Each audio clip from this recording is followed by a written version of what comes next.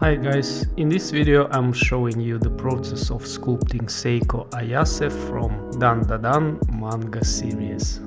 Since I did most part of it during one of my live streams, the full process of sculpting this character is available on my YouTube channel under the live tab. If you are interested in more content like this, subscribe to my Telegram community channel where I share references that I use, announce my upcoming streams, and post my WIPs.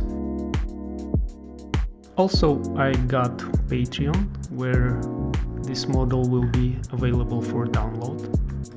And in case you are interested in improving your head sculpts, I have a short course about sculpting stylized female heads so I will put all the links in the description to this video.